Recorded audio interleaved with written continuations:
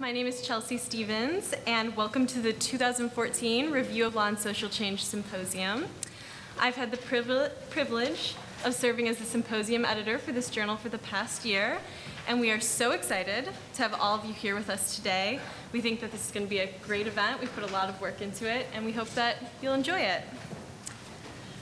To give you a little bit of background on the symposium, the Review of Law and Social Change's annual symposium is extremely important to our journal's page to practice mission. Since our first symposium in 1978, which focused on women, pornography, and free speech, our journal has organized one or two symposium every single year.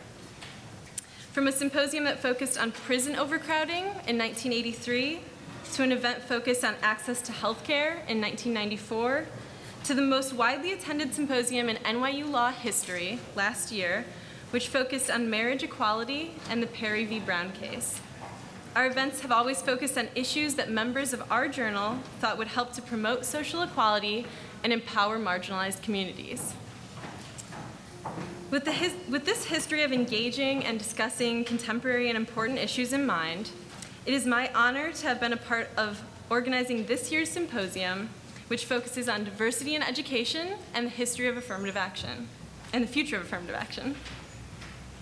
Professor Randall Kennedy wrote in his book, For Discrimination, Race, Affirmative Action, and the Law, that throughout American history, there has surfaced repeatedly a regrettable tendency to underestimate the power of racism's influence and to bring it to an end too soon, promising interventions. The members of our journal do not believe that affirmative action has finished serving its goals. We believe that efforts must be made to ensure that those who have been systematically disadvantaged in our society deserve to be on a level playing field when it comes to educational opportunities. Which is why we have invited a number of panelists here today to talk about diversity in education, what it means, why it is important, and how we can better achieve it.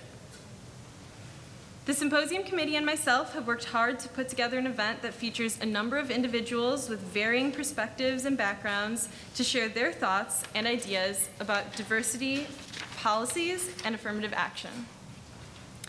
Our first set of panelists today will take on the issue of what we can do to protect diversity initiatives in colleges and universities.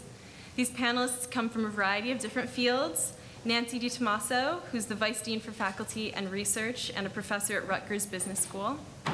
Professor Leslie Yalof Garfield, a professor of law at Pace University. Robert Kim, who is the Deputy Assistant Secretary for Strategic Operations and Outreach at the Office for Civil Rights. And Ada Meloy, who's General Counsel for the American Council on Education. We look forward to hearing all of your perspectives on this issue. Our event will also feature a panel which will discuss how affirmative action went from being something that was celebrated as a major step toward enhancing diversity in enhancing diversity in education to being opposed by a multitude of outspoken critics. This panel will feature a number of law professors, Mark Brodin from Boston College, Kevin Brown from Indiana University, and Vinay Harpalani from IIT Chicago-Kent. We will also have two attorneys whose work is extremely relevant to the topic of discussion today. Maureen Mahoney, an attorney at Latham & Watkins in DC, who represented the University of Michigan before the Supreme Court and won the landmark case Grutter v. Bollinger, which upheld the constitution constitutionality of admissions programs that consider race as one of the factors in order to obtain educational benefits of a diverse student body and Mark Rosenbaum, who's chief counsel of the ACLU of Southern California. Last October, Mr. Rosenbaum argued before the U.S. Supreme Court in the case of Schuette v. Coalition to Defend Affirmative Action, which involved a challenge to Proposal 2, a 2006 Michigan ballot initiative to amend the state constitution to prohibit race-based preferences in public education.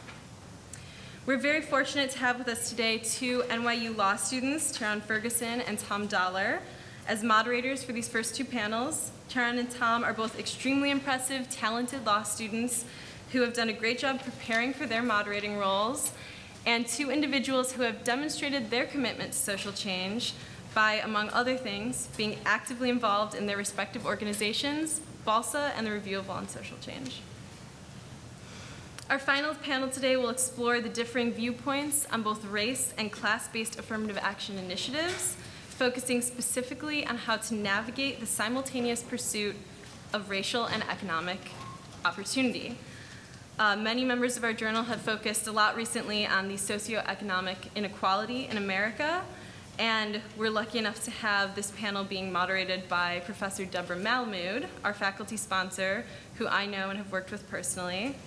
Her writing and teaching in this area is well known and well respected, and I think she'll be a great moderator for this group of talented individuals, including Dalton Conley, a professor of sociology, medicine, and public policy here at NYU, Luke Harris, a professor of political science at Vassar, Melissa Hart, a professor of law at University of Colorado, and Richard Kahlenberg, a senior fellow at the Century Foundation.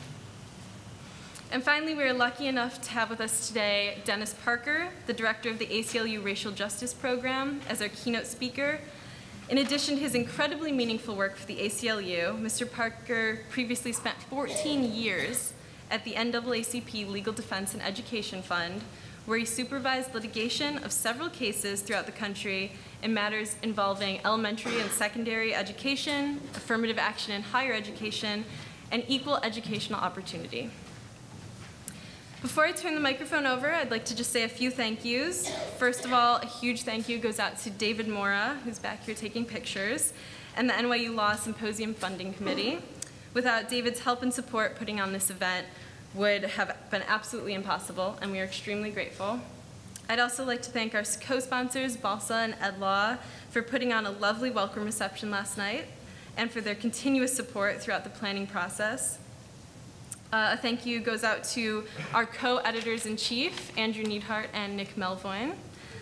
Andrew and Nick have been excellent leaders for our journal in this past year and have put so much effort into helping me make this event happen today. Uh, thank you to all of the panelists who have agreed to come out and showed their support for this topic and agreed to share their perspectives. And thank you to all of the attendees who are here uh, showing your support for such an important cause. A special thanks goes to Stephen Struther and Noah Lawrence, who worked alongside me to dream up this event and fought to make this event happen. And finally, thank you to all of the members of the Review of Law and Social Change for all of your hard work with recruiting, planning, and organizing this event. I had the greatest symposium committee and volunteers who were so willing to do so much to make this event happen, and I couldn't have done it without all of you, and I'm proud of what you have accomplished. With that, I will give Mr. Brent Purnell the stage. Brent is a fellow NYU law student and the Balsa Symposium chair. He has put an immense amount of work into helping make this event a success, and I'm very glad that I've had the opportunity to work with you. Thank you, everyone.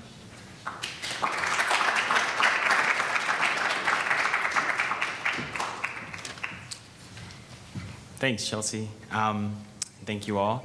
Good morning. I'm not going to be uh, too long here. Uh, I stand before you today as one of the co-chairs of the Black Allied Law Students Association's Symposium uh, Committee, along with Io Alster Moore. Um, and I think BALSA's investment in this symposium goes without saying. You know, in fact, black students and their allies at NYU Law have been historically committed to bringing attention to issues pertaining not only to the recruitment of diverse students, and faculty members to our law school, but also experiences of those students on the law school campus. Um, we're just coming off of a few really heavy uh, recruitment weekends, and I think one of the things I'm always really proud of to tell uh, students, prospective students, particularly students of color, um, is that BALSA has its institutional history at NYU. Um, and BALSA has now grown into a national network of of more than 200 chapters in law schools across the nation.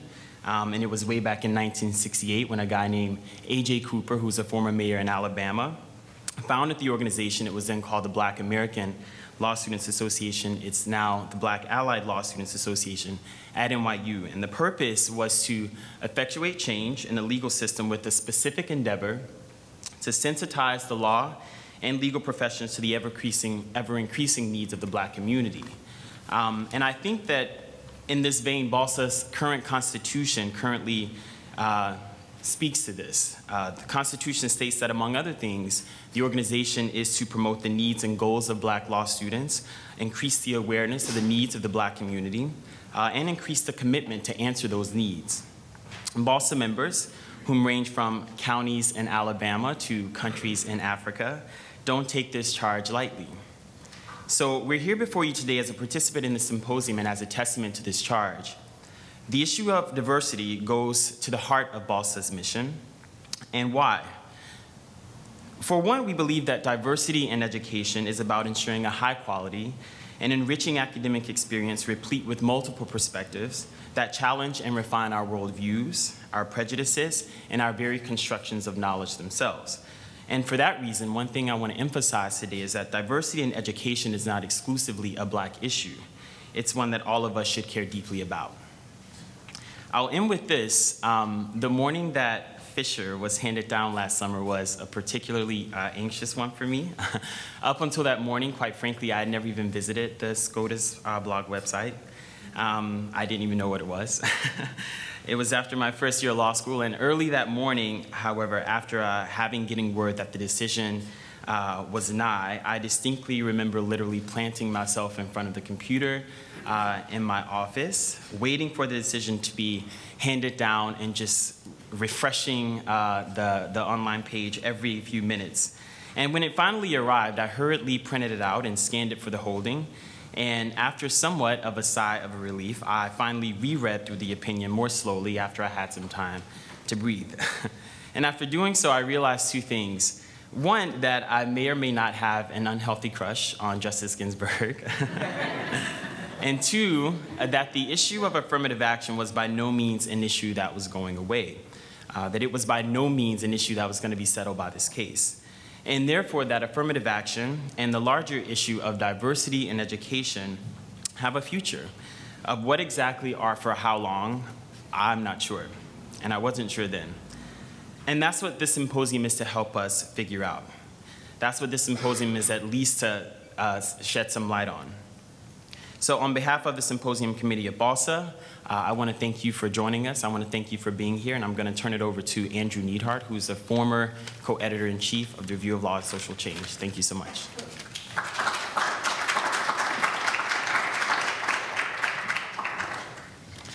Good morning. On behalf of the NYU Review of Law and Social Change, I want to welcome all of you for being here uh, and to thank you for coming. It's been a real pleasure for me to have the chance to work with Chelsea and some of our other editors over the past year um, to make this event happen. And it's really been amazing to see how hard that they've worked on this event. And I got to thinking over the past week, what what makes someone work so hard on something that you know they're not getting paid for and they're really getting in, in the end pretty little recognition for what they're doing and i realized it's because that they really care and that this issue is really important to them um, they care about social justice, they care about affirmative action, and they care about the voices who are here today that we're going to hear from. When the Review of Law and Social Change was founded, it sought to provide an outlet for student scholarship and scholarship of socially conscious attorneys. They sought to examine the underlying social issues that precipitate the legal issues that law reviews talk about. And so our mandate is to provide a forum for unrepresented voices, to amplify the marginalized, and to champion social justice. Affirmative action is at the heart of that mission. It's about righting historical wrongs. It's about recognizing that race matters, and it matters to include diversity in higher education and beyond. And it's about creating a society where everyone has the chance to accomplish their dreams. I was raised to believe that if you work hard, you can do whatever you want. And that's been the American dream for generations of American immigrants and those who have been here hoping for better lives for their families and their children. But today we live in a country where the best determinant of your economic status is the success of your parents. We've become complacent in accepting the idea that American children have wide, widely varying qualities of education in their K through 12 years. In a democracy, nobody's future should be predetermined by race, economic status, geography, religion, or citizenship status. Affirmative action in higher education will certainly not solve that problem, but it's a darn good place to start living up to the American dreams of equality and freedom. So at Social Change, we work, sometimes in vain, but we work diligently to try to live up to those lofty goals. And this symposium we present to you today is just a small piece of that. Along with our traditional legal scholarship our new blog platform and podcasts that we've moved onto the online world. We've also recently begun the Student Practitioner Partnership, which pairs students with practicing lawyers who might have ideas about legal scholarship, but perhaps not the time to work on creating legal scholarship on their own. Because those practitioners may not have the resources to create academic articles, we pair them with student co-authors who can help them, while the students get credit, to really bring out the most important issues that are relevant to practicing lawyers because we want, we want our scholarship to be relevant to people who are um, practicing in the field. It's our way of doubling down on our commitment to what Chelsea described, our page to practice model. So today's symposium is also about practice. It's about how we can move the law of affirmative action forward and a debate about which direction it should take. And I hope that it's the chance for all of us to engage in thoughtful discussion with each other and with the panelists. So I just want to thank you again for coming, for helping us work toward our goal of realizing our mission to promote social justice through legal scholarship. Um, so with that, I would like to introduce the first panel. It would be moderated by my friend and colleague, Terron Ferguson.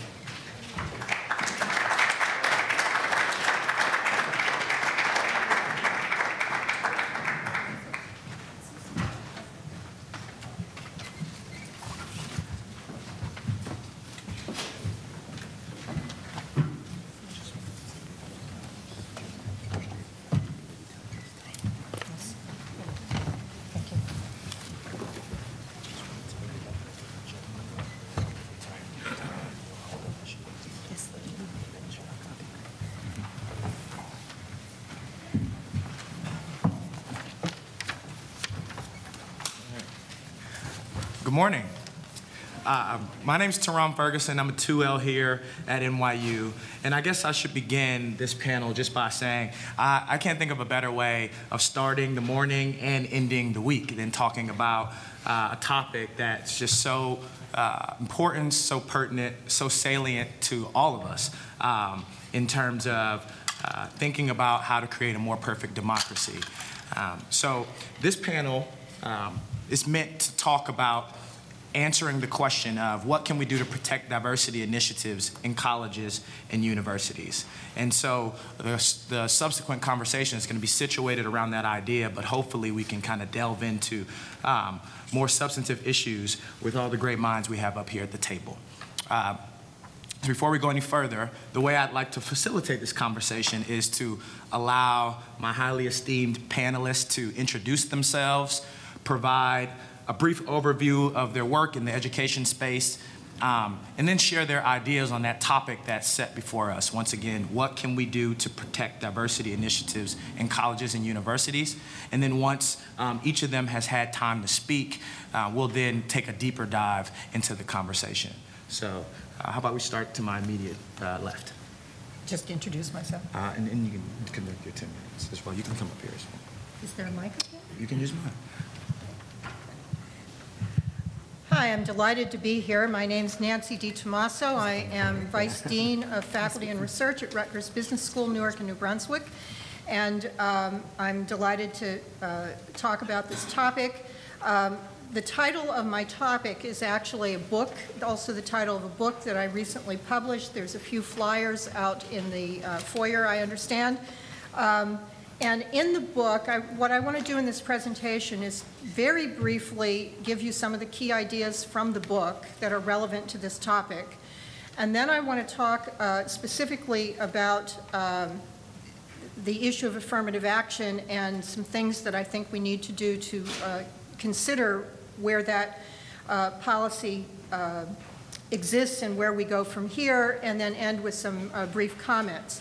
Uh, in the book, um, by the way, I, what I did was interviewed white people between the ages of 25 and 55 in several different parts of the country, several hundred people, uh, and I got their very detailed educational and job histories, and then I asked them also about issues of public policy and their attitudes of fairness and inequality. And so in the book, there's a chapter on affirmative action as well as chapters on views of government, taxes, welfare, immigration, and so on. So I want to hit the highlights of, um, of my argument and then link it to this topic of affirmative action. I know it's going to take more than 10 minutes, but I'm going to try and skip through some things uh, as quickly as I can. So first of all, I just wanted to raise the issue about the context of affirmative action, just to remind us where this came from as a policy.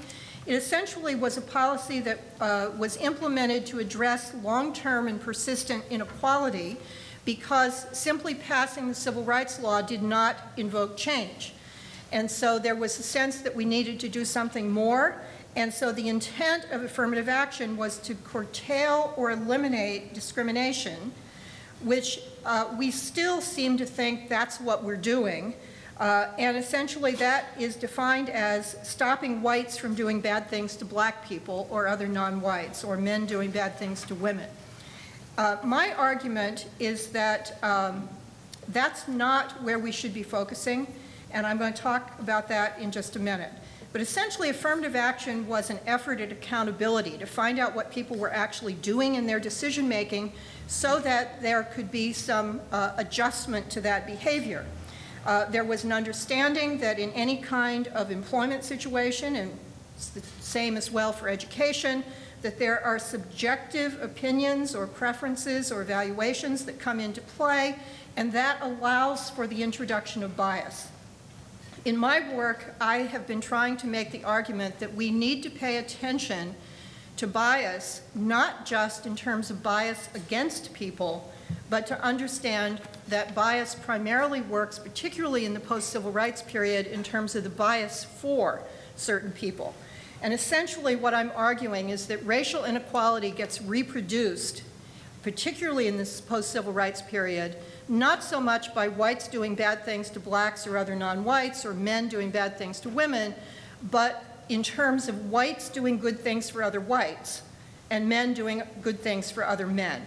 And we have not given enough attention to that aspect of how decisions get made and inequality gets reproduced.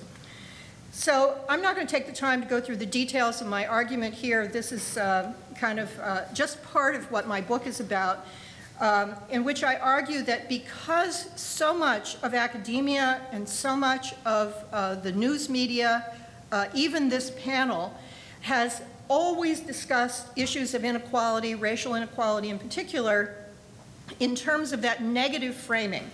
It's about discrimination and racism, doing bad things to certain kinds of people, excluding certain kinds of people that essentially allows whites in the US to assume that race is not about them because they don't perceive themselves as having done any bad things to anyone.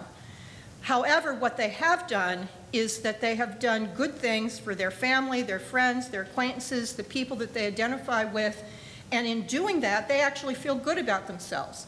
So when I talk to people, everyone believes in civil rights. No one discriminates. Everybody's nice. That's kind of the presentation of self and the firm belief of how people think about their identities. And so when you talk about issues of racial inequality, they don't understand what that's about. They know it's not about them, but it somehow has to do with those racists. And if we could just get rid of those racists, then we could solve the issue of racial inequality. But of course, um, they are not thinking about the fact that they live, for the most part, in segregated neighborhoods, attend segregated schools, for the most part still work in segregated workplaces. Um, in fact, the people that I talked to, hardly any of them had much contact with blacks or many other non-whites during most of their lives.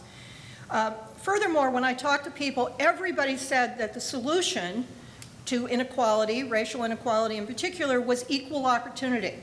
But in fact, what I found is that everybody lives lives of unequal opportunity. And they do that in terms of intentional, purposeful searching for an inside edge in terms of trying to find a job that would pay a living wage, that would provide them with benefits, and that would make it possible for them to have a decent life. So, for example, what I found when I did these detailed job histories of people was that 99% of the people that I interviewed found 70% of the jobs over their lifetime with getting some kind of inside edge, which I defined as getting information other people didn't have, having influence used on their behalf, uh, or actually having someone that could offer them an opportunity. Given that, and many of the people, by the way, said it's not what you know, it's who you know. We all hear that. But then when I asked them, so how did you get to where you are in your life? They all said, because I worked hard, because I'm smart, because I persisted, because I was motivated. right? They didn't talk about the group-based nature of the advantages that they had. That part of their history uh, sort of faded into the background, as is true often uh, when we have this topic. So um, this is sort of my basic data uh, on the issue of jobs, and most of the work that I've been doing has been focused on jobs. Um, and the uh, numbers along the bottom, one, two, three, et cetera, is each job, the first job, second job, so on, up to the 10th job. Obviously, not everybody had 10 jobs, but, uh, and some people had more. And then the percentages on the uh, y-axis is the percentage of the people in their first job who had some kind of help, is information, opportunity, or influence. And as you see, this is working class versus middle class. Um, it really didn't matter much for those that got help getting a job, that essentially, again, the average is about 70% over the lifetime. People got some help getting a job. Um, and so the other 30% of jobs where people didn't get help were, for the most part, jobs where, uh, as one of my interviewees said, one job is as bad as another. So you don't have to use social capital to get those kinds of jobs because the jobs, you don't want to expend your social capital for those kinds of jobs and then a few other kinds of things. These, this is the data by gender. There is a difference by gender. Oh my God. Um, only two minutes, so I'll take just a bit more. Uh, the difference here, I'd say, is because women's jobs are less likely to pay a family wage, and therefore you don't, again, need to use social capital as much to get those kinds of jobs. Um, but even so, the, the average for women is 60%, the average for men, again, over the lifetime of every job they've held is 75%. So I'm going to, uh, I, I want to at least hit this one key point and then get to the conclusion. I'm going to have to skip a lot of stuff. Uh, in my interviews with people, when I was finding out about their detailed job histories, I would say, and how did you get that job? And then what happened? And did you happen to know anyone? And so on. And in the process of doing this, um, I learned a lot about how people get jobs and what happens in terms of those kinds of transitions. I also asked at one point, after I'd gotten all the job histories and I got into the issues about public policy, I asked people about, well, what do you think equal opportunity means? Or what do you think would be fair? And so on. And when I would ask those kinds of questions, I would always get the response, the best person should get the job. And when I would press on that, well, well who's the best person? How would we know that? I would almost inevitably have someone tell me, uh, oh, the person with the highest test score. And then when they would press on that, it would always be a decision with two people, one black, one white. The one with the highest test score is the best person. That person should get the job. Um, however, in the interviews that I did, I didn't find that most people, in fact, took tests to get jobs. Nobody talked much about that. And they didn't necessarily talk about getting the highest test score. So here's some examples from my interviews, and this is one of the key things that I want to uh, communicate. So there was an upper middle class male fellow from Ohio who uh, lived a, a, very nice lifestyle, who also described uh, that, in fact, he lamented in the interview that almost every job he had gotten was through a friend. He said, you know, I've never really been on the job market, and I feel bad about that because maybe I could have done better if I'd gone out there and tried. Uh, and also, he was one of these people that said, the best person should get the job, the one with the highest test score. It's not fair to give somebody a job if they didn't have the highest test score. However, when he was describing his, himself, he said, well, I'm not the brightest person, but I think I'm a pretty good person. And in fact, he had flunked out of college, he had, had, he had failed at a number of businesses, and so on. And so if he was not the brightest person, clearly he didn't have the highest test score. And so he didn't apply to himself the kind of criteria that he was applying to other people. And in the process of this interview, he actually also mentioned that his daughter had gotten admitted to law school, as he said, even though she had uh, scores on the lower end of the distribution. But he said she did all this community activity and so on. She was a good person. Um, there was also another fellow, working class guy in New Jersey, um, who, when we were talking about these kinds of things, he worked in a unionized job with high wages, good benefits, and he said something like, well, if you like the guy, you give him a higher score. And I said, well, what does that mean? And he said, well, you know, you can sleep at night and so on. And so we don't think about the fact that a lot of the testing includes substantial subjective components where somebody gets to decide what your score is on that test. And he was telling me that in his kind of employment, you got favors if it's someone that you like. Uh, another working class guy from New Jersey talked about getting a job in a predominantly black city, and he, this particular guy said that he had never really learned to read, so he had this little problem. But someone had given him a copy of the test with all the answers, so that he was able to do just well enough to get this job. Uh, there was another fellow in New Jersey who was in a civil service job, where he talked about the, it happened to be a police officer, and he said the captain wanted to hire his friend. So the captain gave his friend all the questions and all the answers. And then the panel was given, these are the questions you are going to ask, these are the only acceptable answers, um, and so on. Uh, in another occasion, this was a fellow from Ohio, he didn't talk about getting the test, but he is another person had flunked out of college, was in a job he didn't like very much, he found it very aversive, and he decided maybe he would try a job at the post office. Well, it so happened his wife worked at the post office, her brother worked at the post office, her father worked at the post office, and he had said, oh, I did really well on the civil service test. Well, I assume he got lots and lots of information from the family about what was likely to be on that test, and then, of course, there is a subjective component. So when people talk about the best person getting the job, the person with the highest test score, it's not always uh, what we think. So essentially what I found in these interviews is that for policies like affirmative action, the white people that I talk to essentially think it's unfair because they think about white women or minority groups as cutting in line, not waiting their turn. However, they feel completely comfortable saving a place in line for their friends, their family members, uh, and people who are like them. Uh, they think that um, their own lives is because of their hard work and all the qualities that they bring to the job market. Uh, if they did happen to notice that they had told me about getting this kind of inside help, they would sort of dismiss it and say, well, that just got me in the door, then I had to prove myself. Um, and they didn't think much about structural explanations. So I'm just going to make two more points and then I'll stop. Um, I'll skip all this. And sort of a summary of this part of my argument in the book is that as long as those racists are seen as the source of the problems, most whites won't understand the issues of race. As long as equal opportunity is defined as the standard of fairness, uh, most whites will continue to live lives of unequal opportunity uh, and think that they are perfectly decent and fair people. And as long as the group-based nature of inequality is masked by the emphasis on individual achievement. Most whites will believe that blacks could do it the way I did if they would just try. However, when they say that, they think work hard, not have friends. Um, okay, so I wanted to just say, well, what about education? Is there any parallels to these kinds of special treatment in education? Well, yes, of course, because if you start with housing segregation, the fact that schools are funded by local taxes, that um, many schools are desegregated, uh, are, are, segregated, but the one, as we began to move toward desegregation, then whites, of course, began to create a system of private schools, particularly in the South, but charter schools all over the country.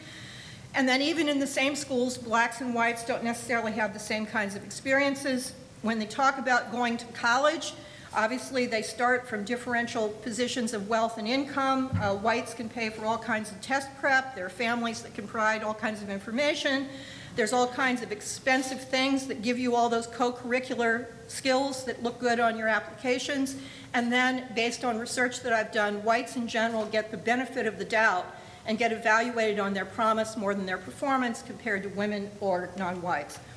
So um, I'm going to skip this and just basically say uh, that whites live in a world of advantage where they help each other but believe that they did it on their own, that both in terms of jobs and education, white privileges can be determinative, and affirmative action for whites is basically the norm in most institutional settings, including jobs and education, and only when others demand access do whites concern themselves with what's fair and they think others are cutting in line. Final issue about this is that um, uh, yeah, final issue about this that I was going to uh, say is that, um, uh, oh, I can't think of what the final issue is, but it, will come to me. Um, Yes, so anyhow, you get the point. Oh, yes, yes, importantly, importantly, is that we spend so much time, again, talking about discrimination and racism, and there's a whole cottage industry out there that's been growing over the last two decades about white privilege, and essentially that literature all is in the format of whites are really racist if they would just admit it. They just aren't being honest with themselves. But my argument is that the ultimate white privilege is the privilege not to be a racist and still to benefit from the existence of racial inequality and its reproduction. Thank you. Mm-hmm.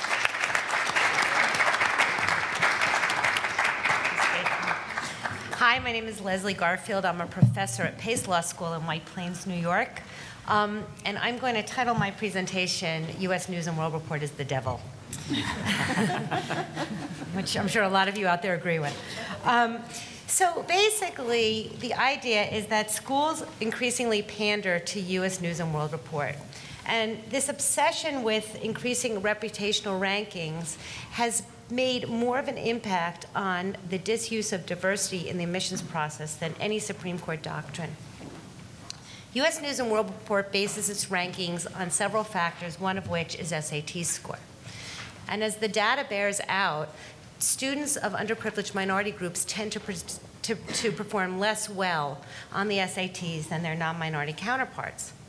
So as a consequence, schools are disincentivized to consider students with those lower SATs, which tends to be those underrepresented minorities, if in fact they're trying to game the U.S. News and World Report, um, the game. I'll call it a game. Um, so I call this rating fetishism. And I would say that rating fetishism, not judicial decision making, is what's driving the decisions of using race in the admissions process. Now, there's no short number of instances where um, schools are either manipulating or worse, deceiving U.S. News and World Report with their data. The New York Times recently reported that um, flagship universities like Michigan and Florida will ask students with lower SATs to start in June or start in their January class, so they don't have to count their SATs as part of their entering class. Um, Baylor University offered students who had already been accepted financial reward for taking the SATs again in an effort to increase their numbers. And those are just the manipulations. Then there's the deceit. An admissions official at Claremont McKenna was forced to resign after it came out that he, in fact, had inflated numbers. And Iona University, which is right here in New Rochelle, reported numbers that gave them a ranking of 30 for regional schools, but when the numbers came out um, for real, they were actually ranked 50, dropped so much. Consider all this against the data that reports that underrepresented minorities tend to perform less well on the um, SATs. Roy Freedle's did one of the earlier studies. In 2003, he did a landmark study that showed that there was a huge discrepancy among black and black students and Caucasian students when they took the SATs.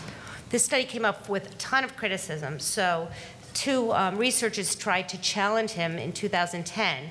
And then in 2010, Harvard Educational Review showed that not only was Freedle correct, but in fact his numbers were smaller than what we had originally anticipated. John Ogbu wrote his um, book called Black Studies, Students in um, Affluent White Suburbs. And there too, he found that the students tended to perform, perform less well in, um, among under, represented minority groups. And then, of course, there's Rick Sander's work, which many of you may, have been, may be familiar with out in California, who has made an entire career of showing the discrepancy between Latino and black students and non-minority counterparts. So from a numbers perspective, this is pretty stunning. According to the College Board, in 2006, affirmative action uh, no, sorry, African American students, sorry, had a combined math and verbal score of 863, while white students had a combined math and verbal score of 1,063. That's a 17% difference between African American students and um, white students. And when admission is weighted heavily in objective test scores, minority enrollment drops. You can consider enrollment in California after it adopted Proposition 209, which was the proposition that said that 206, which was the proposition that said that you could not consider race in the admissions process. So following the adoption of Proposition 206, Berkeley freshman admissions rates dropped significantly for African Americans, from 47.8% to 19.7%. For Latino students, it dropped from 44.4% to 20.6%.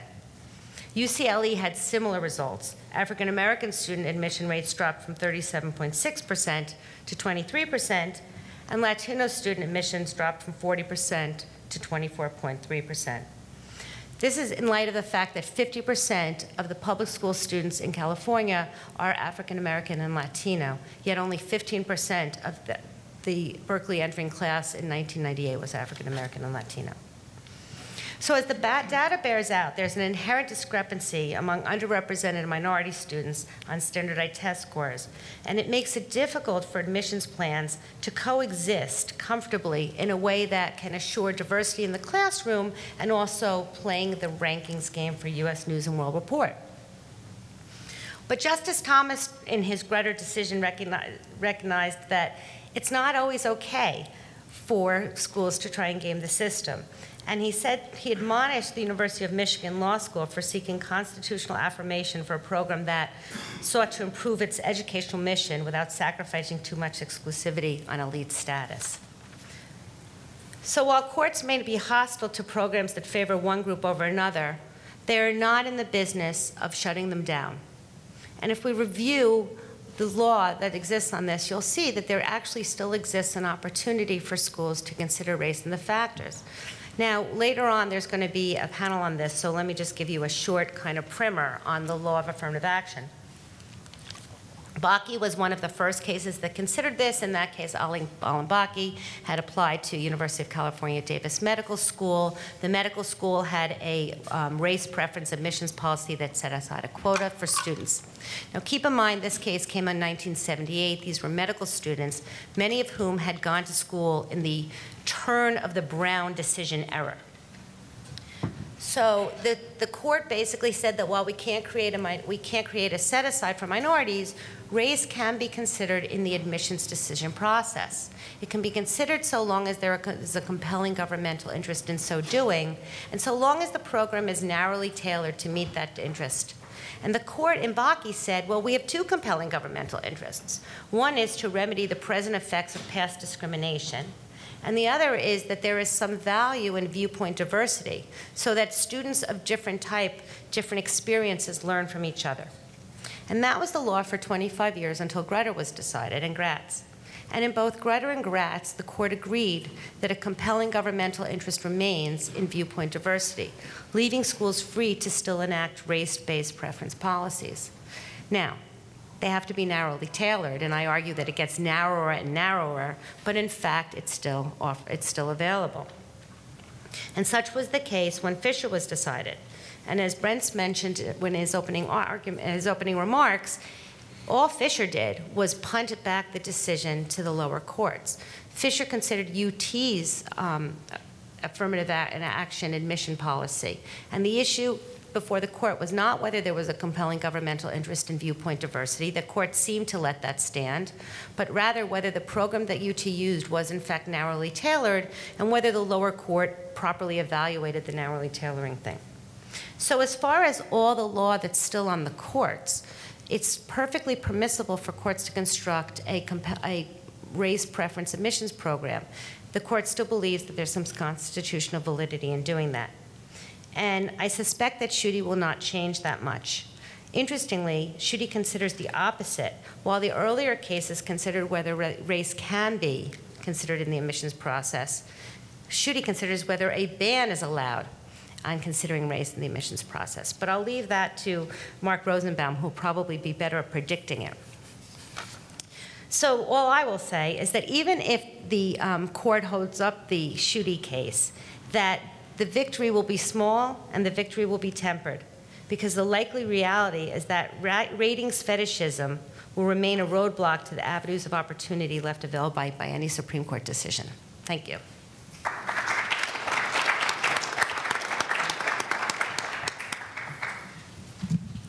Good morning, everybody. Um, I'm Bob Kim.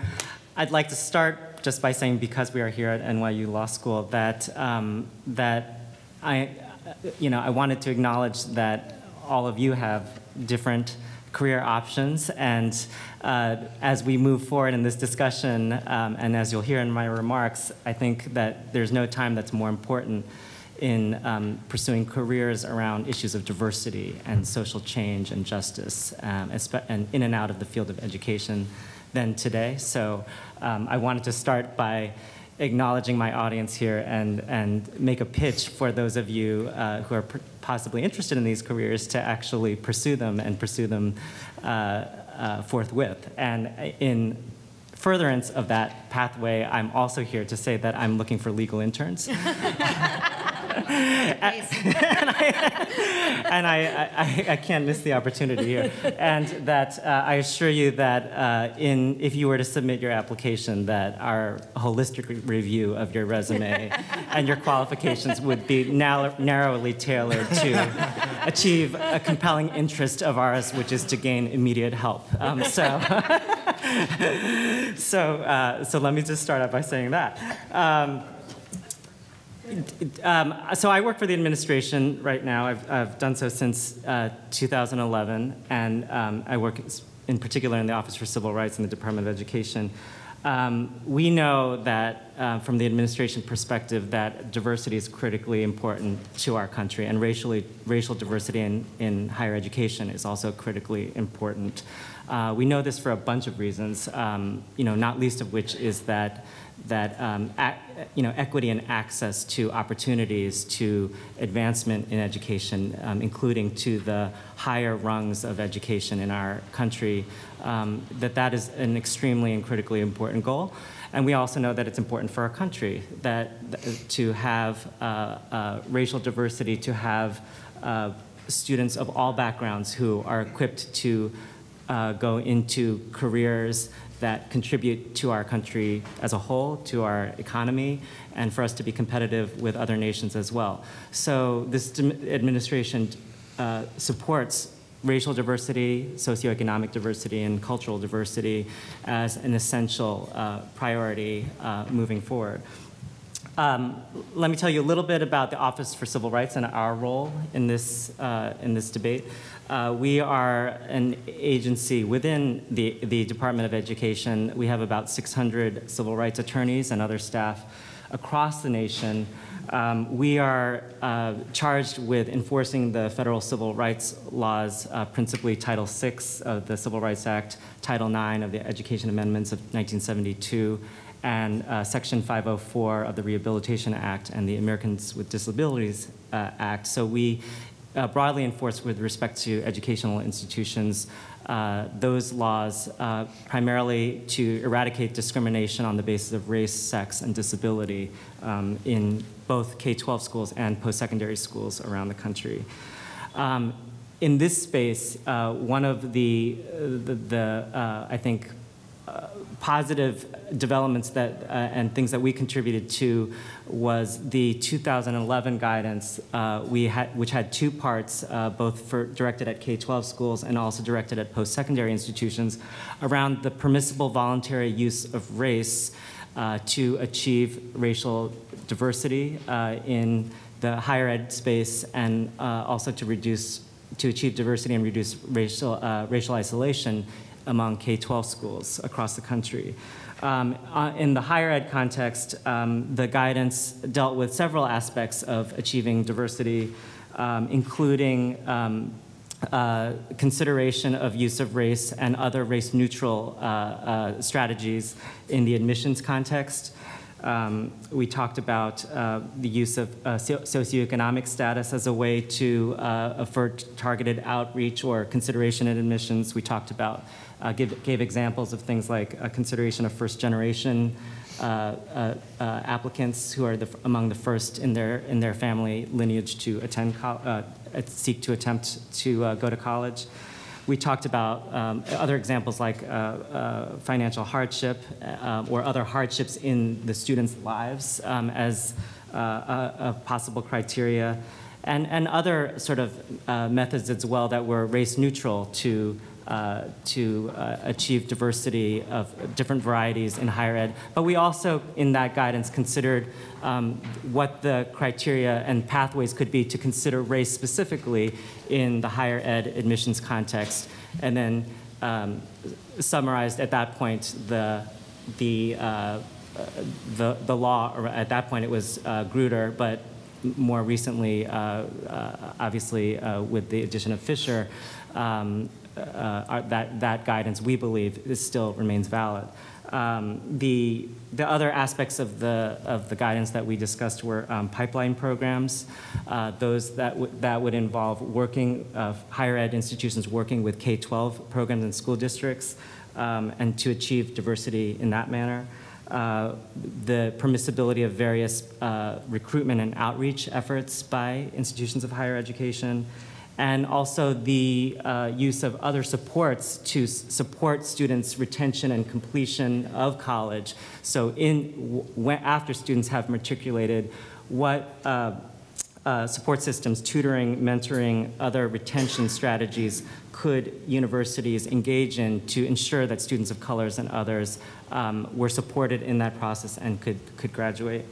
So we did, um, after the Fisher case, also uh, issue a guidance uh, in the form of a short Q&A analysis, which is uh, uh, available on our website, to affirm that, um, in our view, the uh, Fisher case preserved the legal standard articulated in Grutter, uh, and that schools still had an avenue to use race in, you know, following the appropriate procedures uh, to use race in admissions and in other aspects of, uh, of their processes. Um, obviously, the court said that, uh, that courts shouldn't sort of rubber stamp this process in the, sort of the narrow tailoring analysis. Um, but and it should not give deference. But obviously, that what our goal was to, is to say was that this uh, that schools still had an avenue to use race in the appropriate manner and also uh, that our 2011 guidance was still valid and should be um, a resource for schools around the country. Now, let me just say in a, in a couple minutes that we have since Fisher had um, some uh, enforcement activity around the country in the, in the higher ed space. We have um, dealt with uh, complaints that alleged that schools were uh, discriminating on the basis of race in their admissions and in other contexts. And so um, we have dealt with uh, an analysis of whether schools, um, whether colleges or universities um, had uh, sufficiently articulated compelling interest, for example, in uh, racial diversity uh, in their programs, uh, whether their strategies, um, uh, when they were using race, were narrowly tailored um, uh, and uh, whether their inquiries was holistic and whether they had considered race-neutral alternatives in, in that, uh, in their process. So um, there is enforcement activity going on from the federal government uh, at the federal level um, in this space even after Fisher. And um, in many contexts, we have concluded that uh, that, that race, the, the use of race was permissible in these um, different examples, uh, and that the school had not violated uh, the Constitution or Title VI uh, in the way that they went about their process. Um, I'll just conclude by saying that obviously we're talking about diversity here, uh, and it, it, you know, it is one way forward is, is certainly to sort of focus on diversity narrowly and sort of challenges to diversity in admissions and so forth. But we really look at this as um, a, a, broader uh, uh, struggle that involves um, different aspects of education. And so in the department and in OCR, we have over 2,000 uh, complaints annually dealing with other aspects of um, uh, racial discrimination and um, in many ways that those, those struggles and those examples of discrimination are related to the issue of uh, diversity uh, and um, achievement and, and inclusion um, uh, for students at the, at the higher ed level. Um, we think that college access and issues of college access, quality, and completion are, are crucial as part of this discussion um, we think that the K-12 space is also relevant. You know, when we, when we want to achieve diversity uh, in higher ed, it's important to think, well, what is the pipeline for, for students of all races to uh, get to that level where they are prepared and, and uh, ready for college. Uh, no matter what their racial background or their socioeconomic status. So certainly, I think there's a conversation that we can have here around K-12 as well, um, and uh, we want to ensure that uh, that uh, there's equal access in the K-12 space, that there's not discrimination based on uh, whether it's bullying or harassment or sexual violence or uh, racial harassment or violence, that we want to eradicate that as well. Um, and we want to make sure that there's e equitable access to things like high quality teachers and that there's sufficient resources uh, at the K-12 level and that there's not discrimination or disparities based on race or other factors uh, in the provision of, of those critical elements as well. So, um, so we're trying in the administration to address a lot of these, a lot of these things. Um, in the K-12 space, I'll just conclude by saying that, that we have a new program that we are um, attempting to roll out is in uh, FY15, dealing really with equity and opportunity gaps in this country, uh, primarily at the K-12 level, but also leading up into uh, higher education. And so um, the, you know, that program would really uh, try to address critical shortages that are uh, experienced by students of color and poor students around the country in some of these uh, these critical areas, uh, the, the, you know, the factors that are so important for, for students in all schools to have in order to be college ready and to get to that point where when they're filling out their college application, they have um, the ability to say that they took a rigorous and challenging uh, uh, a set of a sequential set of courses uh, to uh, be credible candidates at our top universities, but also um, at, at, community colleges as well and in, in, in all higher ed. So, um, and we can, you know, we,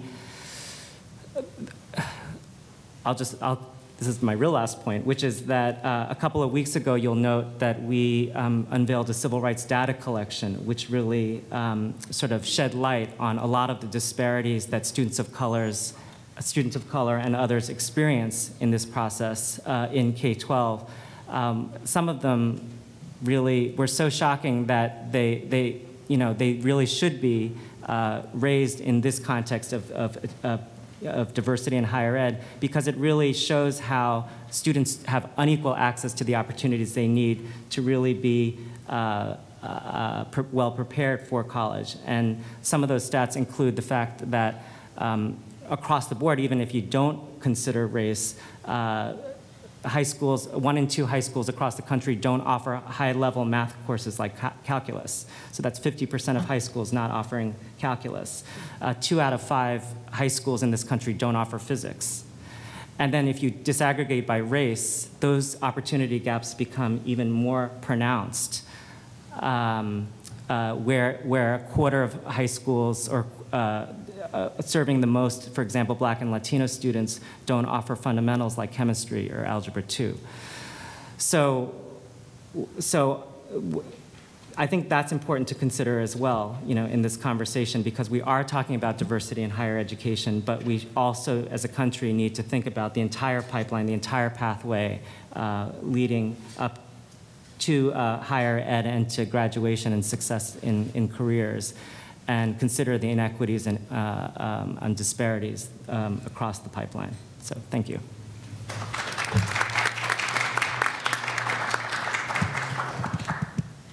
Well, uh, thank you very much, and uh, welcome.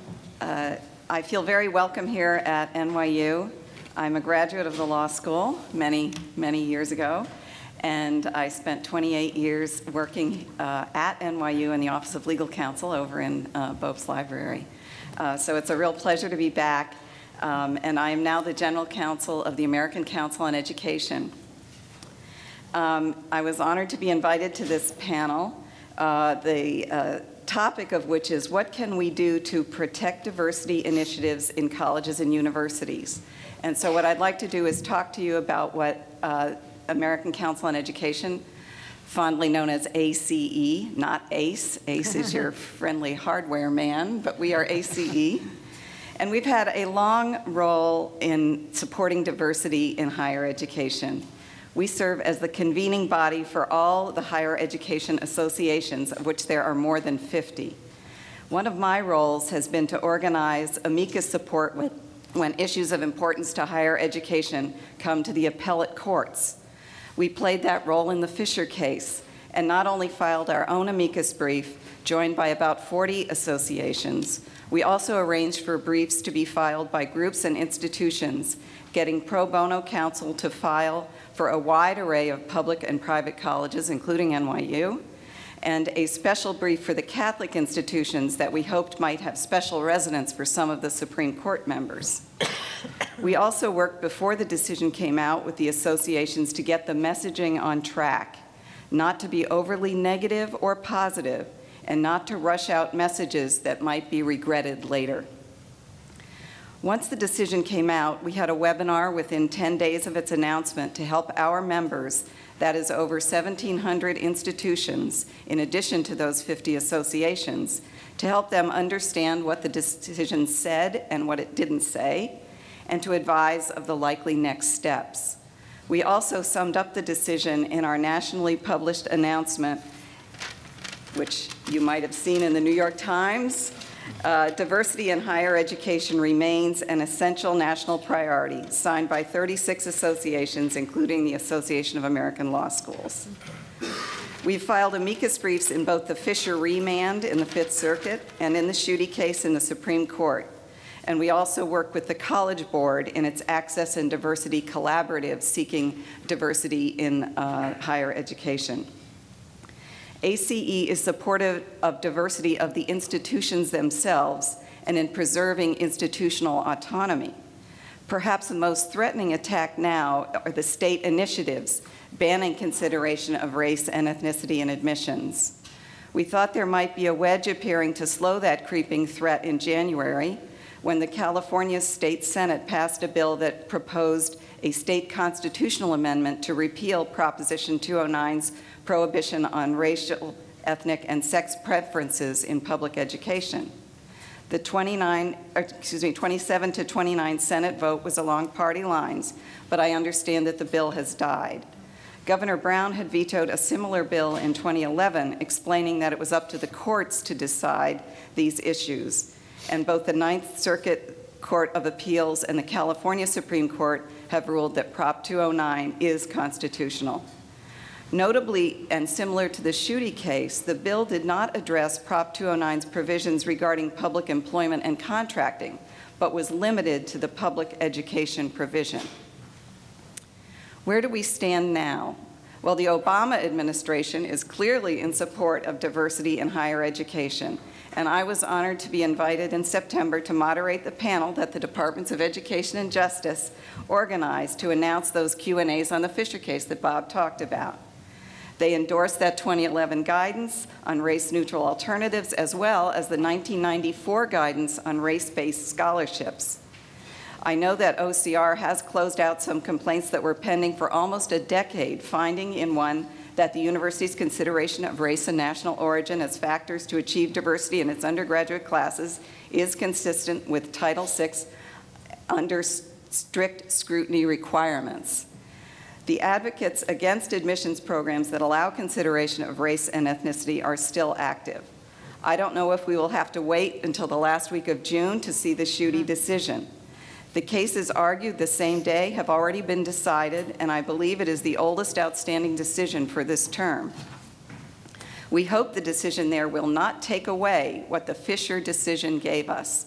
As we put it in our national statement, the Fisher decision left intact the long-standing legal principle that the educational benefits of a widely diverse student body are a compelling governmental interest.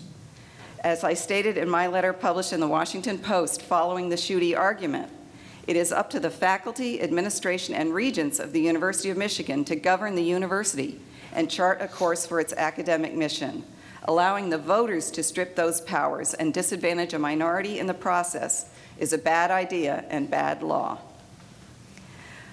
One recent development we found troubling is the fact that two members of the United States Commission on Civil Rights sent a letter to numerous colleges and universities asserting their view that few institutions have diversity admissions programs that would pass muster under strict scrutiny. They claim that the article written by one of them, entitled The Sad Irony of Affirmative Action, supports the mismatch hypothesis and that in reality, colleges are not following narrowly tailored policies that are and are acting on impermissible bases, including historic and social justice motivations for considering race in admissions. We've asked the chair of the commission if he could clarify for higher education that this is not an official communication or view of the commission, and I believe he will do that. Granted, it may not be easy to satisfy the strict scrutiny test if challenged, but institutions need to be ready to do so. Be sure that diversity is included in the mission statement of the institution. Document how holistic review is conducted and that many factors of diversity are carefully considered, not merely racial and ethnic diversity. Survey the campus climate and measure the success of the attempts to achieve diversity. Evaluate efforts on a recurrent basis and make adjustments. This all requires focused effort but if diversity is as important to the institution and to the nation as we believe it is, these efforts are worth it. And I hope that we will talk more about how to be sure that we can continue to have the diversity that higher education needs. Thank you.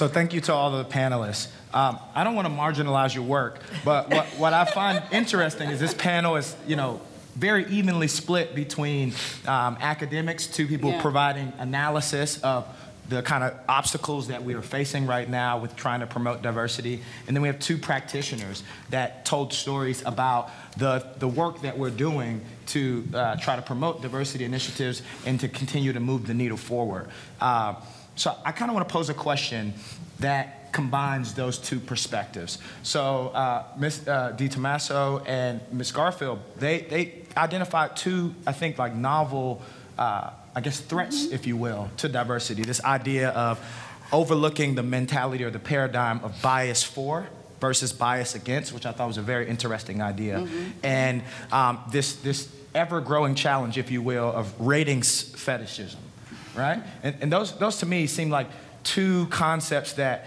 uh, schools don't really deal with when they're trying to think about how to admit more diverse candidates and build uh, more diverse student bodies. And so I'd like to hear from the panelists, um, considering the, the, the plexus of solutions that were also kind of uh, enumerated, what can we do to try to um, protect diversity in light of those two identified threats? And, and then feel free, whoever wants to well, go first.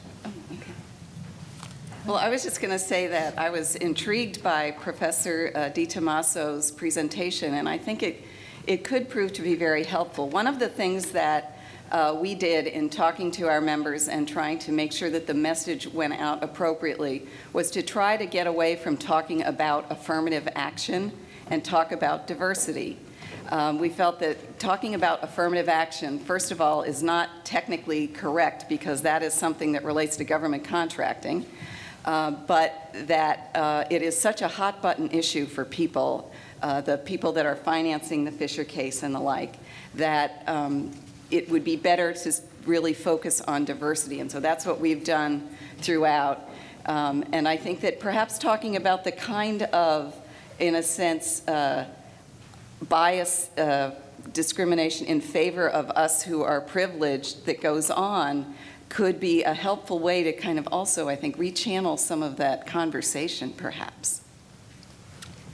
And of course, that's why I wrote the book and hope that that takes place. Mm-hmm. Um, I wanted to uh, link the issue of practice and academic study um, in, in a slightly different way than I think you have in mind. Because one of the things that led me to begin thinking about these issues is not only am I uh, you know, professor, but I had also been department chair for about 12 years at different times. I'm currently vice dean, so I deal with all the personnel issues. And I'm a faculty member, so I've been tenured for a long time and participated in many personnel uh, review uh, panels. And one of the things that um, has irritated me, struck me, uh, I noticed was how the bar gets raised or lowered. Everybody talks about merit and the standards and upholding high standards and the best person and so on. But when it actually comes to applying that to a specific case, again, the bar gets raised or lowered depending on who the person is. Mm -hmm. So um, if you happen to have a minority candidate who's up for tenure or promotion, you have a different way of looking at what the packet includes versus uh, when it's someone that uh, is from the normative in-group. And um, Similarly, there's been a lot of research to show that this happens all the time in personnel decisions. I'm sure it happens in college admission as well. That um, there's a whole array of factors that might be considered in any kind of decision when you're trying to allocate resources or evaluate people. And it turns out that the research shows that the weighting of those factors shifts around in ways that allows always the normative in-group to look to be the best person. For example, there's been some studies that show that uh, if you're doing a uh, hiring decision and the man has more education and the woman has more experience, uh, the man will be chosen because the, they will say education is the most important factor. But in the next decision, when the man has more experience and the woman has more education, the man will be chosen because they will say experience is the most important factor. And that's the nature of the decision making that we undertake.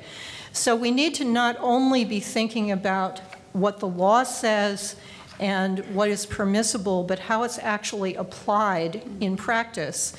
And um, the kinds of issues that I was trying to address and affirmative action was intended to be to begin with is to introduce accountability into the decision making and make people specify in advance what the criteria are at the at very minimum, will help reduce the kind of bias that can get introduced, especially the bias for the people that we like best and who are like us, as opposed to uh, actively trying to exclude uh, certain people. Mm -hmm. uh, um, I, just, no, I just want to say one thing, and I think it kind of it all works together. It's a, a, the question is, what do we value? And so one of the issues that you raise is that we value things we're comfortable with. And I think that that dovetails with the U.S. News and World Report argument is that we're valuing the wrong thing in assessing how we choose what's important for rankings. And it's easy to value kind of objective test scores. All you have to do is add them together versus valuing diversity, valuing different types of experiences. But to the extent that we can move the discussion away from kind of these concrete numbers and get to value things that will make us a richer society in general and also have a critical mass of discussion in the classroom, I think we'll be much more successful. Now, that's a heady goal, but um, I think that that kind of would be the optimal decision. And, and, just let me say, add to this and say that um, in our in our practice, uh, when we've had uh, a diversity uh, challenge in in higher ed admissions uh, recently that we resolved, um, we schools have been trying to account for uh, testing and to um, apply their own uh, um, analysis to how much or how differently to, to uh, weigh things like SAT scores in admissions and so forth. And we've um, upheld uh, uh, uh, uh, practices where, for example, there was a, a challenge uh, that student, a student was alleging that the school just was using a very different um, um cut score or a rating score for SATs based on race. And we, so we went through an analysis to show that the school had permissibly um, uh, evaluated SAT scores the way that they had, and that it was uh, not a predominant factor, and race was not a predominant factor in that SAT uh, um, in, uh, indicator, as and that the school had done a, a, more holistic analysis of student qualifications in that space. So, so to the extent that schools are looking for ways to um, uh, sort of minimize or contextualize uh, things like SATs or other tests that, that um, give quantitative uh, uh, uh some in indicator of quality through um, a, a, quantity or a, a, score. I think that we've accounted for that in, in our enforcement efforts to give some schools some space if they, they go about it the right way um, to, uh, to say that, that sort of their contextualizing of scores is, is permissible. And can I add one footnote to that? I didn't have time to talk about it, but the whole issue about test scores and testing, we have to see that in context as well. Testing emerged at the time in the U.S. when we had expanding immigration, and it became a way essentially to certify the uh, privileges of whites in universities. But as Jews began to do extremely well on the tests, then there was another way to think about those scores, and we started having quotas. And so one of the reasons that we have um, the uh, strong uh, admonition against quotas right now was because those were introduced to keep Jews out of elite universities. Now that we have the situation in current uh, wave of immigration with Asians beginning to do much better on these tests than whites, now we have universities saying, well, maybe tests shouldn't be given so much weight and that uh, we should be looking at other kinds of things. And we have certain universities saying you can opt out of the tests, or we have the issue that, well, maybe you don't come in as a freshman, but you come in as a transfer student, and then you can get in without considering the test scores. So we need to keep those kinds of things in mind. Again, the bar gets raised or lowered, the factors get weighted differently depending on what kind of outcome you'd like to see. So one of the things I'm hearing is we need to be very clear about what we prioritize and what we value. Um, and I, I, think that's spot on. Uh, but the other question for me that emerges is who, who is the we, right? We're talking about we as decision makers, but to be frank about it, there's a ton of cooks in the kitchen, right? I mean, Foremost, I'm thinking of the courts, there's school administrators, policymakers, and the like um, that kind of make up this collection of the proverbial we that we're discussing in terms of who needs to norm about what we value. Uh, what my question, I guess, for you guys to consider is uh, should we consider perhaps individual students, families, and I guess society writ large as a primary stakeholder or set of stakeholders as well in terms of determining what we value with respect to diversity, what we need to look at, and if so, how do we do that? How do we get those voices um, into the space such that we can have a more robust, rich conversation? Well, in the um, amicus field and all of that, in the Grutter case, of course, some of the most important amicus briefs that were filed in addition to those by ACE, of course, were the, um, the retired generals and the business leaders. And they spoke to how our country requires uh, leaders in a diverse leadership, and that if we don't have them coming through our education system, we're doomed. And that really was very powerful. And I think um, those similar briefs were sought and were obtained in the uh, Fisher case. In the, uh, I think there were over 80 amicus briefs uh, in favor of the University of Texas. And um, so that's a very powerful voice for what our country really needs. I, Go ahead. I'm sorry, I'd like to uh, speak to that. That was a very powerful statement, the one from the retired generals in particular, um, and also the corporate leaders. But uh, we need to be a little bit cautious in terms of what we think we mean about that again, because this is the space where I do a lot of research, uh, there's been a lot of talk about let's not talk about affirmative action, let's talk instead about diversity. And then when you hear people talk about that, they all talk about diversity of thought. We have people who think differently, and therefore we need them to come together. There's been almost no one who has actually measured the diversity of thought by group and to um, provide any documentation that uh, particularly um, U.S. citizens from different race ethnic backgrounds think differently. I've actually have some research on that. I have a paper that we haven't published yet. Um, it's a little bit tenuous to try and make that argument, but I think we should be focusing, like the generals did, on the issue that the legitimacy of our institutions require that we have participation of all groups within the society because otherwise we will have conflict and um, it, it, will make it extremely difficult for the society to function. I think that plus some other things are uh, where we should be given a lot more attention. Mm -hmm. Wait, I have a question for you. Okay. I mean, it's, it's, it's all well and good to say that we haven't measured viewpoint diversity, but the court's kind of hung its hat on viewpoint diversity. There's no and evidence. I understand that, but here's the question. Do we walk away from it from an academic standpoint when kind of that's the only straw that we're allowed to grasp right now? I mean, yes, the court did pay some deference to the, the amicus by the generals, but really, the court made quite clear that um, present effects of past discrimination cannot be a compelling governmental interest anymore in education. And that was even before post-racist Obama. But should we, I guess my question to you is, do we take what we're given and work with it, or do we say to the court, what you've given us isn't even right anyway, and we got to figure something else out? Well, Yeah. oh, I was going to say that um, the benefits of diversity that were put forward by the um, social science researchers brief were civic engagement, critical thinking, cognitive ability, and uh, self-confidence were increased, increased cross-racial understanding, decreased prejudice, and increased the, or improved the class environment. And so it wasn't exactly what you were summing it up as. It was a variety of different factors that they were pointing to as the uh, benefits of diversity in higher ed. Yeah, and I don't think that um, we should necessarily move away from it, but I think we do need to be very careful if we think that our entire argument is hanging our hat there.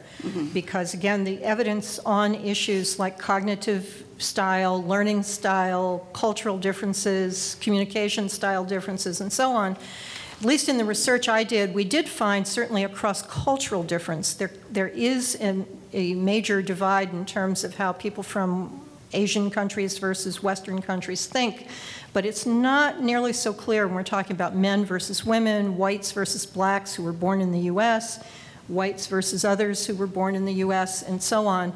Um, so I would, uh, the kind of list that you just mentioned, I think it's very important that we keep that in mind. And when we're talking about uh, diversity, not so much of the way people think, such as the heuristics that they use to solve problems or the way that they gather information, but that the experiences that people have and the kinds of uh, skills that they have might be diverse. And we need to be entertaining the value of those kinds of things as well and make sure that we understand that that's part of what we're uh, putting on the table as the value of diversity. Definitely. So I'm going to interject with a quick comment, and then uh, we have a question in the audience. So uh, what's interesting is when the court speaks, what they're talking about is the value in how diversity enriches the, the experience of the student at the school. So I feel like, you know, this is a rare circumstance where, where I feel like an authority to talk about how it impacts my experience as a student here.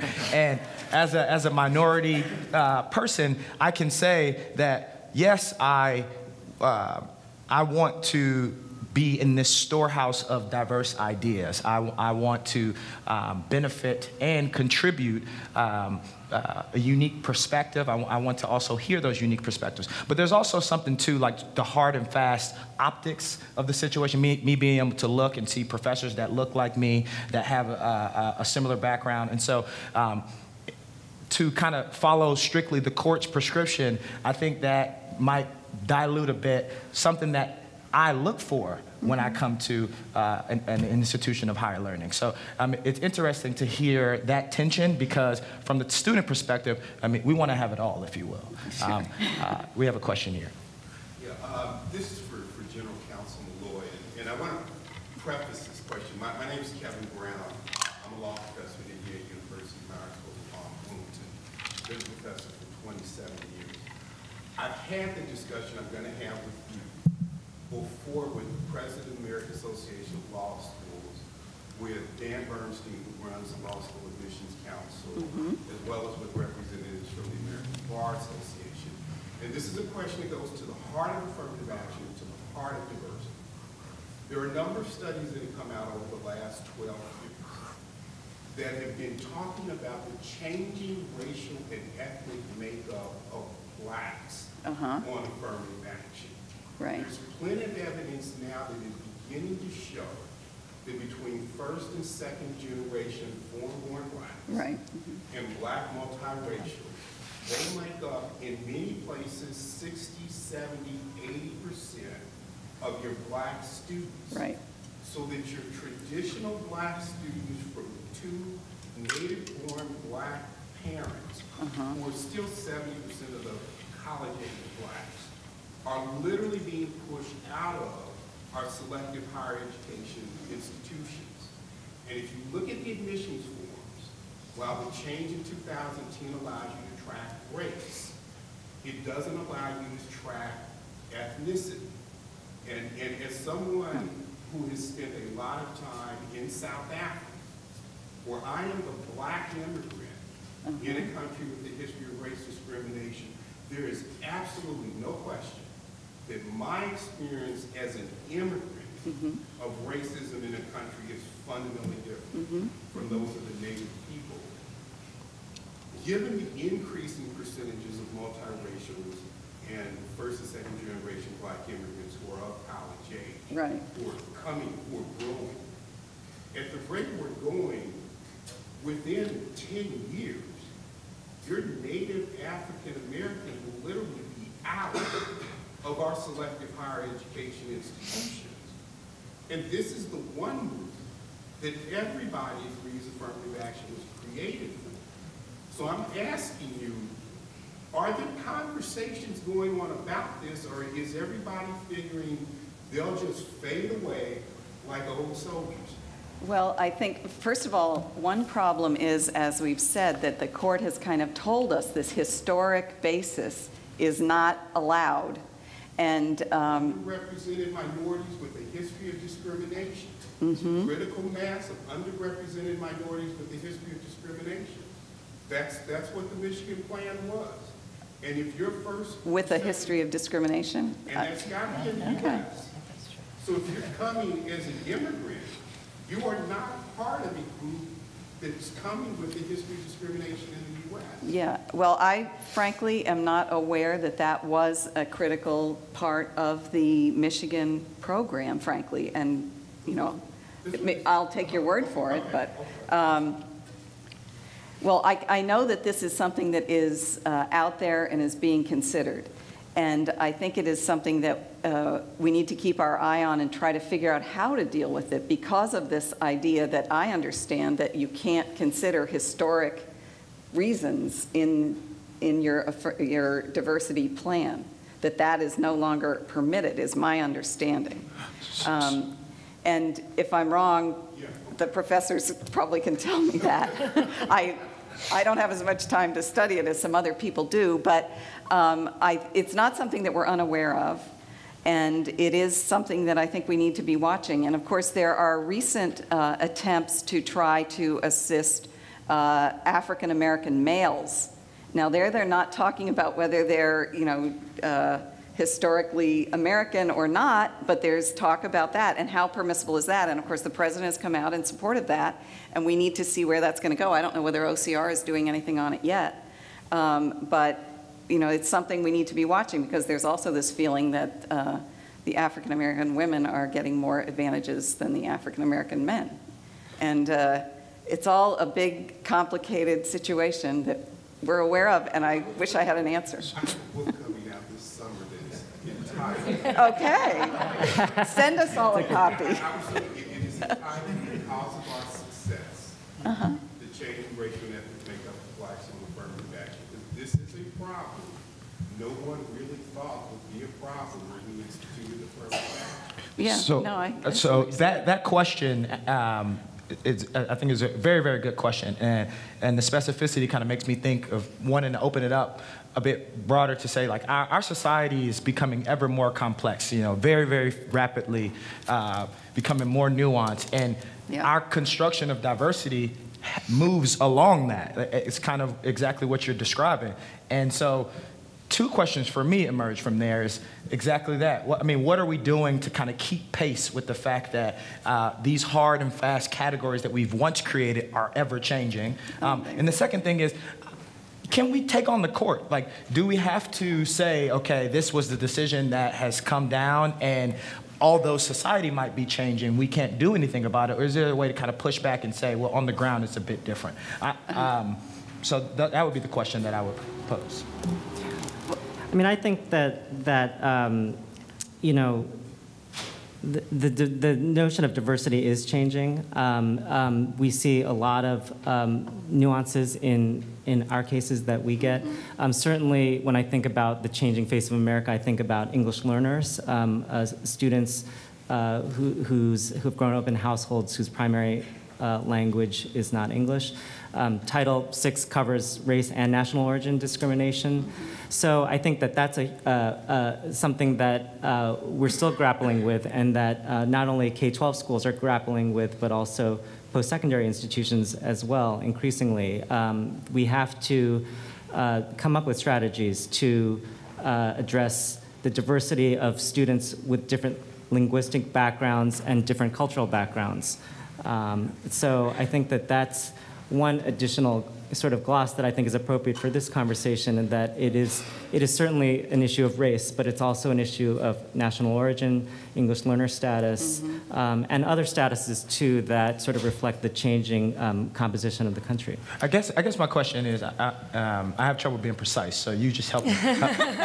Is there a risk of it becoming too unwieldy, right? Like, is is it a risk of like, as we strive to be more and more inclusive, um, that, I mean, we end up tying a Gordian knot that we can't get ourselves out of? Yeah, I want to um, address two issues that is somewhat related to that.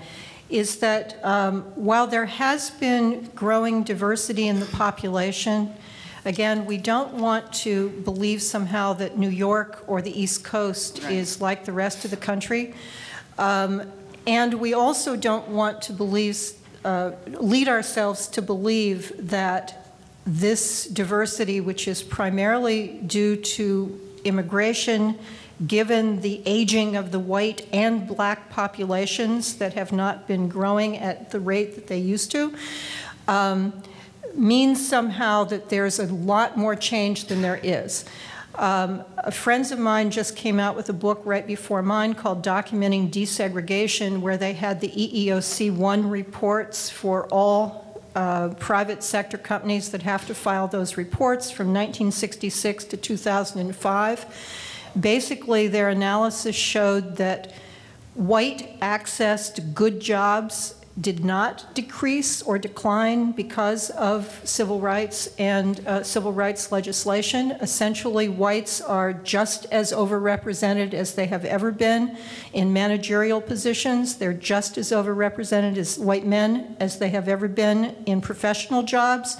And they are just as overrepresented as they have ever been in craft jobs, uh, non college educated type jobs so that the growth and the diversity of the population that we seem to experience has mostly been the growth of other kinds of jobs, uh, meaning the ones that are not such good jobs, or in the public sector, which we now is being cut back, or maybe in smaller firms that aren't subject to these kinds of regulations. So there's been remarkably little change compared to what we would anticipate since the 50 years of the Civil Rights Act uh, was passed. The one area where there has been somewhat more change has been for white women. Uh, however, they also, in any of those jobs, are still not um, represented at, at the level of their proportion in the labor force, and certainly not anything like white men. So again, we don't want to overstate, you know, the diversity that exists. Uh, the second point, one I again didn't have a chance to mention, but um, it gets to the the political will to have any of these kinds of changes that we think is desirable. Uh, one of the arguments I make in my book, is, because when I talk to people, they had very different politics, and my argument is basically that the people whose politics were more conservative, anti government, anti welfare state, anti black even, uh, were those who felt that civil rights policies would interfere with their ability to uh, provide preferences or advantages to their family and friends or to themselves. And that those who were more politically liberal, I did talk to a few of those types of people, were the ones where the application of affirmative action policies or civil rights policies of one sort or another, in fact, wouldn't really affect them much because they already had good jobs, good educations, and their children would do just fine. So um, we have to get at the issue of inequality in order to talk about the issue of diversity.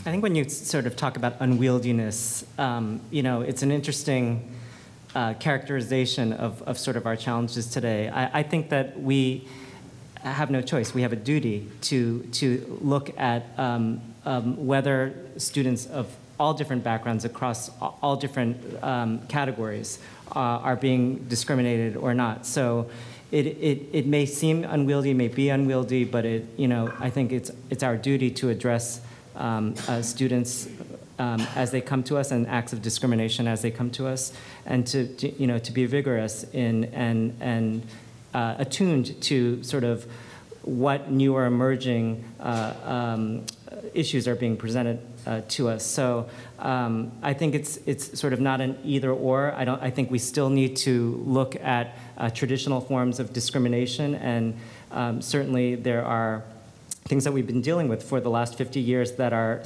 not only ever present today in terms of discrimination or disparities, but are, are growing. So we, we absolutely need to be um, focused uh, in a laser-like way on the types of discrimination that we have, um, have been experiencing in this country for, for many decades. But that does not mean, and is not um, inconsistent with sort of the notion that we also um, understand that there are new and evolving forms of discrimination. There's LGBT status discrimination, um, as I mentioned, ELL discrimination. There's discrimination in the realm of students with disabilities, which um, um, as new as new uh, phenomena emerge, things like, you know, one example uh, is the emergence of, of, technology in education and the greater use of um, electronic readers and so forth. So who would have thought that 10 years ago that or 15 years ago that we would de be dealing with um, whether there's discrimination based on students with disabilities um, because of the, the way that those technologies are or not accessible. Um, so things evolve, things happen, and we need to be um, ready and poised to address those things. And, and that's kind of the beauty of the word viewpoint diversity or the word critical mass, is that it breathes kind of like the Constitution, right? It, it allows us to kind of take a step back and reconvene what kind of bundle we should put into viewpoint diversity. And that while it was originally intended for one group, we obviously don't want to shortchange that particular group, but it's necessary to kind of reevaluate as we worry about LGBT and all the other different various groups. And I think that the court was sensitive to that when they looked at the case, particularly in Grutter, and this notion of a holistic approach of putting together a critical mass. They didn't just focus on a particular racial or ethnic group, they focused on the whole picture. And just to bring up your point, you know, we are in New York, and we forget that Native Americans are a significant underrepresented minority west of here, and, and so they factor in in a way that, you know, law schools here at my law school, I don't think we have any students who self-identify as Native Americans, so that we couldn't even put them into our critical mass. Well, what's tough um, is when I think about this question, what can we do to protect diversity initiatives in colleges and universities? Uh, we're putting a lot of onus on the institutions and like what from a programmatic perspective can we do? And but our conversation, one of the themes that keeps emerging is this idea of values, beliefs, mindsets, mentalities, and the like. And so, I mean, those are uh, two very different things, but they work in tandem or in tension depending on uh, how you, you see the world. And so I guess my question is, what can we do to kind of uh, advance both both concepts, not just enacting programs, admission policies, providing resources to diverse candidates, but also thinking about how those, those uh, strategies inculcate to alter the perspectives that can help kind of push this cycle along. I'm happy to address that.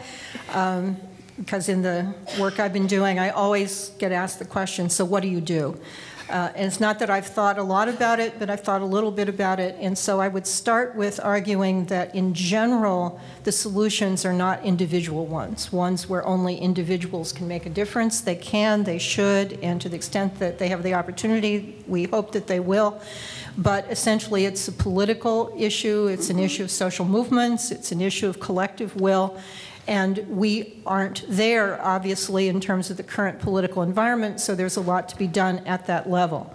Short of that, organizations can do things. So there are things that institutions can do. And to the extent that there are groups like yours, the ones that are sponsoring this symposium, you can encourage your institutions to uh, implement more accountability in decision making. That's one thing that organizations can do within the law, and uh, often they don't. Again, in part because they are looking for the bias against They're trying to get rid of the racist and trying to prevent discrimination, and they're not paying much attention to all the bias for that takes place in terms of people helping their friends and the people that are like them. And because of that, they haven't really have accountability policies that look at that sort of issue. Uh, I could go on. And, and then um, at the individual level, it does make a difference in terms of champions. Uh, I mean, again, as a department chair for 12 years and as vice dean for a few years and watching people around me, it can make a big difference to have someone who is there, who's attentive to these kinds of issues, who can, again, when these criteria get reweighted depending on the, on the policies to have someone call people on that. For example, a couple years ago, we had a search committee who was looking for an assistant professor, and they all of a sudden decided, we don't hire anyone who doesn't have at least two publications. So we're going to rule out all these people because they don't have at least two publications. And I said, but wait a minute, what about the person we hired last year? And the one we hired the year before, and the one we hired the year before that. They didn't have two publications. So all of a sudden, this criteria gets introduced, and there's a very short memory in terms of what the institution had actually done. We had a, ten, a hiring decision where we were talking about full professor, and there was all these um, arguments made about our standards are that we have such and such as to become full professors. So I decided to actually look at our data and go back over the last 30 years, everybody who had been uh, promoted to full professor, what did they actually have in their records in terms of how many publications, how many good publications, et cetera. And of course, this criteria that was being set out there, we have to have this kind of a record, was nothing like what we had actually been doing in terms of promoting people to full professor. So I could call people on that and say, wait a minute, you know, in this particular case, and it was so egregious, it was a US born black man that we, we wanted to hire in the department, and our appointments and promotions committee said no, he didn't have the qualifications for full professor. This person had 45 publications, and in fact, when I looked at the data, most people promoted to uh, full professor had 16 to 18 publications. I mean, such a discrepancy, and yet again, if no one's paying attention, you can have all of these images in your head about what constitutes competence and qualification and merit. Um, people need to be forced to look at the data and their own behavior and in the recent past uh, in order to make sure that we're making equitable decisions. I just want to make a brief pitch, kind of for my argument in a way, but I think that if we want to keep um, diversity and race preference admissions decisions available, we need two things. We need financial resources so that admissions committees at schools can conduct the kind of holistic review that survived Grutter. And frankly, that's really not, particularly in today's economic climate with education, it's not a real viable option. But it is what we need. And if we have enough people who can review the applications and put together these critical mass in a way that the court says is okay, we can achieve our goal. And the second thing is, and this is never going to happen, is we need to get rid of U.S. News and World Report. U.S. News and World Report has done more to destroy education than just about anything. And there was a group of schools, and I will say Columbia was one of them because I know for a fact they were, and they got together and they said, oh, we're not going to pay attention to U.S. News and World. We're not until this institution like rose in the rankings, and all of a sudden they were paid attention again, and it changed their model for admissions. And so I know that those are unrealistic, both of them, but in reality, those two things I believe will really make a difference. Uh, I'll just say quickly, I don't know if we're in a, our concluding. There's a question. Oh, there was a question. Can I?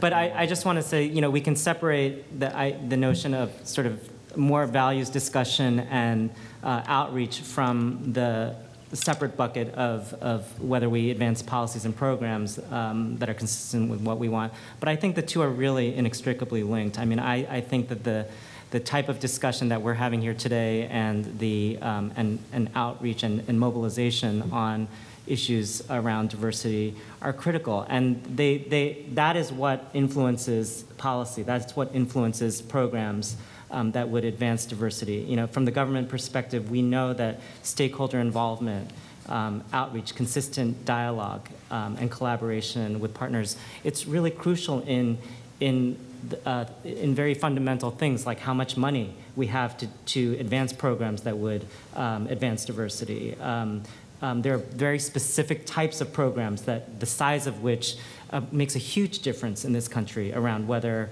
um, we're doing, we're really engaging in robust efforts or not. You know, we have a magnet schools assistance program that um, does not nearly cover um, the number of schools that we would love to, and those schools, as many of you know, um, offer rich opportunities and, um, and more open enrollment uh, types of, of, of, structures that would enable greater racial diversity in districts um, around the country. Things like that, um, things like our college completion agenda to ensure that students of color um, have a pathway and support they can to actually graduate from either two-year or four-year colleges. Those things depend on outreach, robust dialogue, engagement, um, consistent um, mobilization through stakeholder organizations and so forth if they are to succeed. And without that support and engagement, um, there's a high likelihood or, or, a high possibility and even a likelihood that they won't succeed or, or be uh, put forward as um, a signature or a priority of a budget or an administration even. So I think that, the, that it's a critical linked discussion when we talk about things like public engagement and actual policies and programs. I'm going to open up the floor for a question. Um, I just wanted to say, I hate to say that in this environment, but the Supreme Court is not always right. oh, I agree with that. And it has been necessary to change not only their view, but the Supreme Court from time to time. It, that has been done by political mobilization, et cetera, et cetera, but essentially various strategies over the course of time, the absence of which would mean at least some of us in this room would never have been in this room except as citizens. So my question, the government can help. Why isn't the government, in, in your office in particular, creating some of the research and foundational work to do this safe harbor analysis that says schools on the basis of our study, I know you can't get anything through the legislature, but on the basis of our analysis and study, if you construct your programs this way, and I'm going to say this, I know if it enters into the record, we'll lose, but to subvert the Supreme Court where it is wrong, we will not attack you, and we believe, and we will mobilize our resources to support programs that are organized in this manner, et cetera, et cetera. Social change doesn't happen because we want it to happen. It happens because astute people mobilize to make it happen. The social change that we're living in now is the result of political decisions that started to be made and implemented in the 1980s, which moved the country back to, you know, the pre-1950s there has to be a reverse strategy, but the government has to be a partner. The institutions that are represented, the thinking that Ms. Tomaso mentioned also has to be represented. Where is that? And my first question is to you, Mr. Kim, why couldn't the government take a more active role and then open up so my short answer is we follow what the Supreme Court says. Um, my longer answer is that, that um, there, there are choices in an administration on what priorities um, to, to adopt in, in how loudly or how aggressively we want to pursue um, different types of injustice or inequity. And I think that you will see from administration to administration that that really changes a lot. So I, I do know that what we've done is to try to um, raise equity and, and opportunity um, and issues of, of, justice to the forefront and to, to prioritize those. And that takes, you know, different, how we, what levers we, we use to, to achieve that um, it, it, really varies across the Department of Education and across the administration as, as a whole.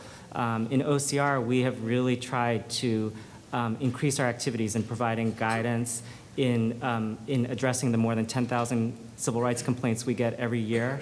Um, it's harder to do that more than ever because of, of the way that budgets work and the way that, um, that we know that uh, for example, I was telling somebody earlier that um, we did a study. We have half the staff that, that the Reagan administration had. Um, and we have, you know, three, four times the number of complaints and other activities, and as we alluded to earlier, an expanding uh, not expanding jurisdiction, but it's an expanding array of types of cases that, that we deal with. So we do what, what we can to um, be as aggressive as we can on certain longstanding issues. Um, the school discipline guidance package that we put out in January, I think, is hugely important. It's addressing something that, that advocates have been um, raising as a real, real concern. Uh, uh, the, the issue of racial discrimination in school in K-12 schools around discipline. So, so that you know in, a, in, a, in another with another set of leaders or with um, in a different time would might not have occurred. So we try to do things that we can to move the ball forward, but we're certainly not necessarily the only or even the most important actor um, in in the overall landscape. I think that that's where we come back to the importance of um, engaged. Uh, uh, uh, engaged citizens and engaged organizations and working across the sector, you know, and, the different sectors of government. And the court, not only the Supreme Court, but other courts are, are critical to that as well. Uh, thank you. So uh, I hate to end this conversation so abruptly, but uh, I learned a long time ago if you make folks sit for more than 90 minutes, they get antsy. so uh, I would invite you, if you have any further questions, to approach our panelists. Um, they're really nice. I talked to all of them on the phone uh, beforehand, so they, they don't bite. Uh, and I just want you guys to help me in giving them a round of applause.